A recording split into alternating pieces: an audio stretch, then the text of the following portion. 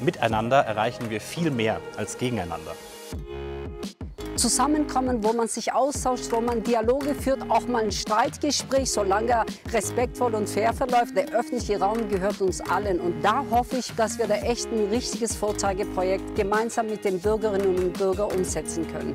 Es war ein Kampf, die Verkehrswende einzuleiten in Baden-Württemberg. Aber wir sind erst am Anfang. Du siehst heute keinen Platz mehr. Du siehst nur noch Autos und Kreuzungen.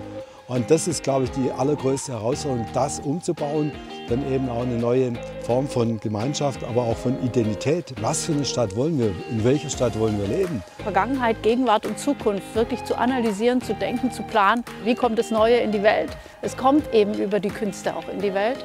Und durch diesen Austausch lernen wir auch so viel dazu und erfahren wir so viel mehr. Dieses Motto wachsen wir über uns hinaus, das ist ja ein Appell einerseits an unseren Zusammenhalt, aber andererseits eben auch eine Ermutigung, den Tüftlergeist, die Kreativität, Innovationskraft, die Ingenieurskunst. Also ich glaube, wir können wirklich alle Herausforderungen, die vor uns liegen, gut bewältigen, auch wenn die wirklich groß sind. Mit Mut und Zuversicht geht alles besser.